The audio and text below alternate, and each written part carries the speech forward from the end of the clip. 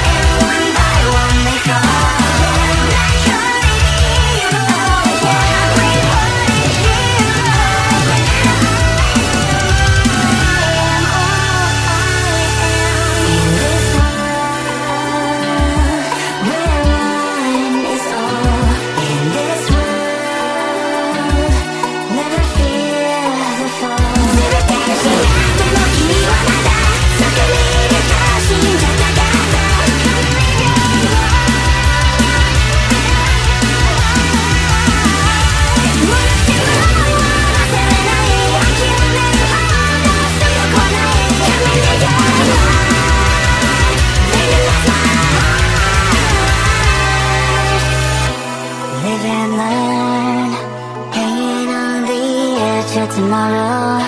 Live and learn from the works of yesterday.